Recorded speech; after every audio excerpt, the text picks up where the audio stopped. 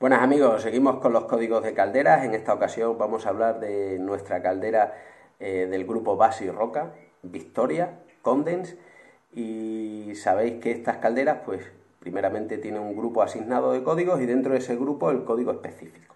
¿Vale? ¿De qué grupo vamos a hablar y de qué código? Del grupo E02 y del código específico el 47. Bueno, ¿qué nos está pasando? Bueno, pues la conexión que tenemos al dispositivo exterior, ¿no? Pues no, no es correcta. Bueno, vamos a verificar, ¿no? La conexión X14A con X12B. Que no, pues pudiera ser que la tarjeta de conexiones estuviera mal, la sustituimos, ¿vale amigos?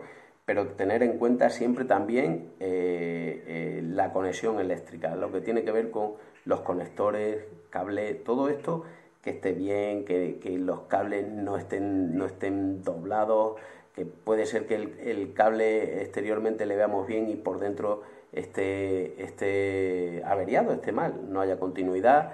Todas estas cosas es importante que las veamos, ¿vale amigos? Chao.